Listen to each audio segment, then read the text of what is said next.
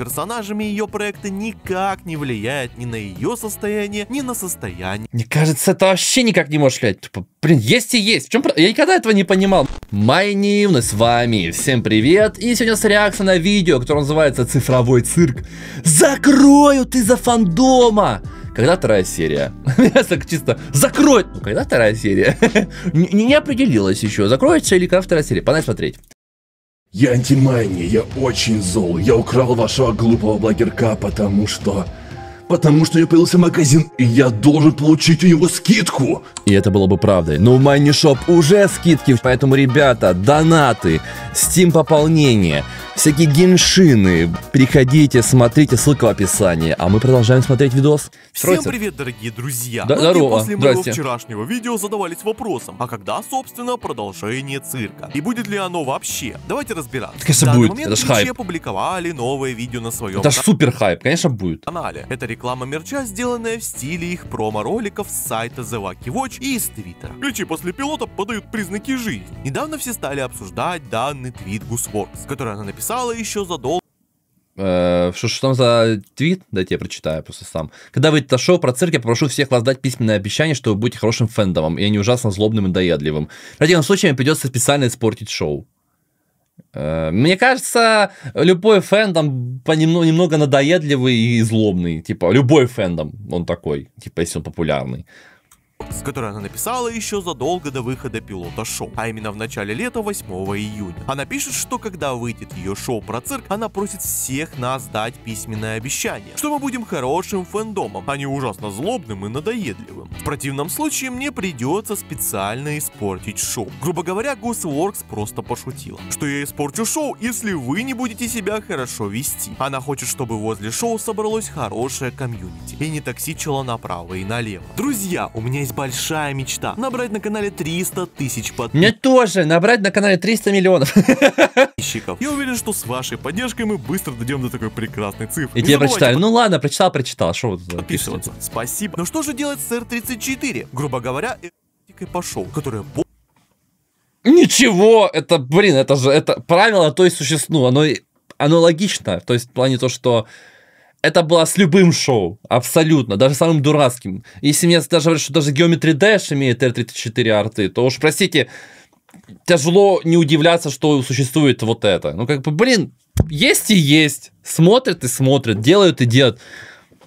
Я никогда не понимал, в чем проблема. Типа, как это мешает или как это влияет на основное шоу? Вообще, мне кажется, никак абсолютно. Типа, вообще ноль. интернет Ноль проблем, ноль проблем. премьеры. И даже до. Гусборг закроет шоу, если будет А нет, конечно. R34. Да, конечно, нет, Ребят, бред же. R34 есть в любом фандоме. Можно даже сказать, на все есть R34. Без исключений. Это не значит, что вы ведете себя плохо. И что Гусворкс после этого на всех обидится и не выпустит шоу. Далее уже после премьеры пилота Гусворкс напишет, что она устала от социальных сетей и уходит отдохнуть. Ведь фанаты пристают к ней 24 на 7. И дело не в R34, лол. Она даже сама рофлит с этого. Так что не переживайте. Вся эта с персонажами ее проекта никак не влияет ни на ее состояние, ни на состояние Мне кажется, это вообще никак не может влиять. Типа, блин, есть и есть. В чем Я никогда этого не понимал. Многие говорят, вот, вот есть мультик, и вот я считаю, что мультик плохой, потому что по нему есть... Ты что, тю-тю, алло, проснись, дядя. Причем тут основное шоу или основной мультсериал к э, работам фанатов, которые хотят что-то рисовать. Да какая разница, что они рисуют? Не нравится, не смотри, что они рисуют. Сама суть-то в основном шоу.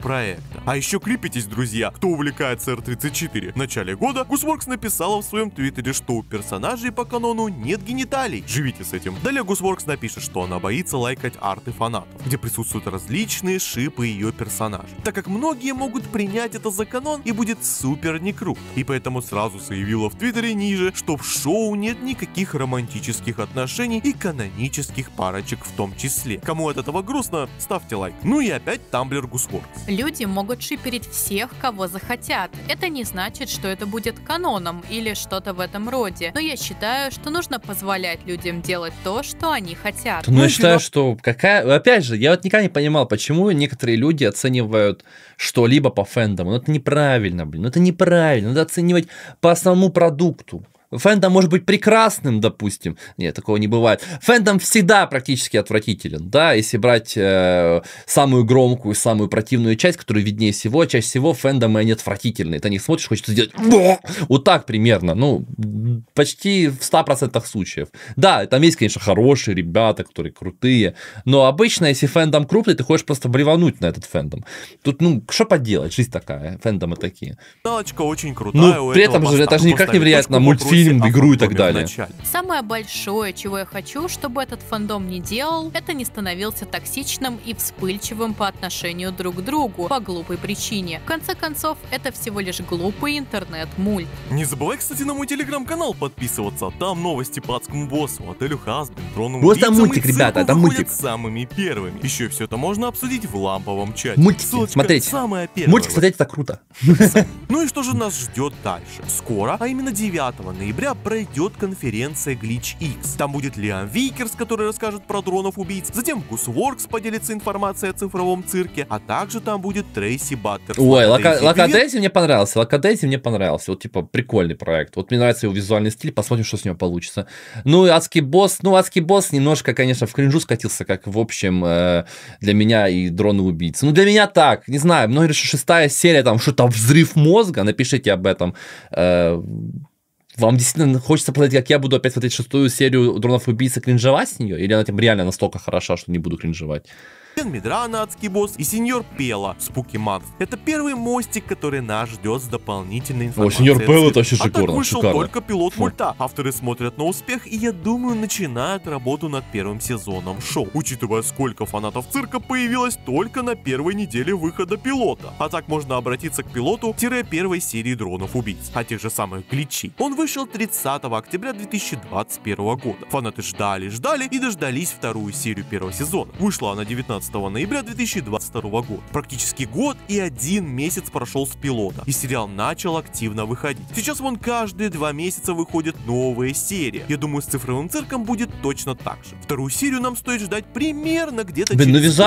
стиль мне Затем нравится. Прикольный. Ну, такое вим все такое красочное. При- Не, не знаю, Потом мне визуально мультик прикольный. Новые эпизоды шоу. Тем более на данный момент пилот дронов собрал Посмотрим, что там по сюжету 24 будет дальше. просмотров. Шоу запустили, и это шоу точно запустят в свет. Уже больше вон 17 миллионов на пилоте. А вы что думаете? Плохо, что нет каноничных парочек в шоу. Обязательно напишите, будет интересно почитать. Не забывайте подписываться на канал и нажимать Ну, мне кажется, то, что нет конических парочек, значит, ну, просто шоу будет не на этом держаться. Ну, это, я считаю, нормально. Ну, не все должно держаться на романтике и так далее.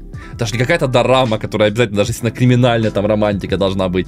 Вот реально, я заметил, я, ну, я ничего против дорам не имею, но там реально бывает, что дорама, знаете, как криминальная дорама, и там равно какая-то романтическая линию сунут, чисто чтобы она была. Вот, вот, ну, если тут не будет ее, ну и ладно, этих романтических линий или парочек и так далее это не делает хуже сериал, я считаю. Типа, надеюсь, просто это не спустится в кринж на уровне э, там третьей, четвертой серии дронов убийств, там, где просто героев режут налево и направо. Просто так. Ну, типа, не знаю. Не нравятся мне ваши дроны убийцы, ничего не могу с собой поделать. Ничего против не имею визуального стиля, но вот не, не зашел мне. Ребята, э, ссылка на оригинал, видос в описании. Принципе, то, что он сказал правильно. Подписывайтесь на мой канал, мне было очень приятно. Счастья, здоровья, удачи, всего придачи. Всем пока.